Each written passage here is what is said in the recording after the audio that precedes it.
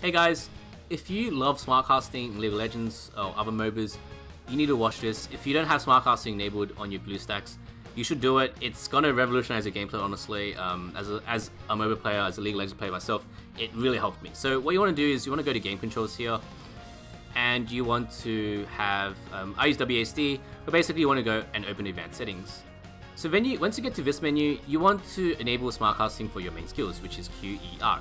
Now I'm gonna I'm gonna show you how to do it. So if you go to your let's say R, you want to press settings here, which is on the bottom left corner.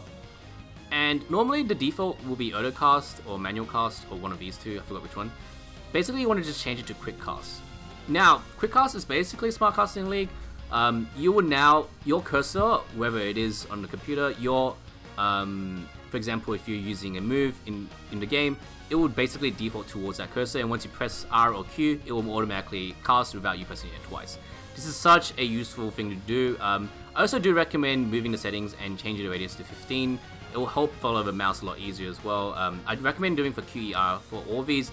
However, some of my friends tried have used 10 and 20 for example. So really, preference wise here, you want to mess around with it. I find 15 an optimal spot for myself, but it's really up to you.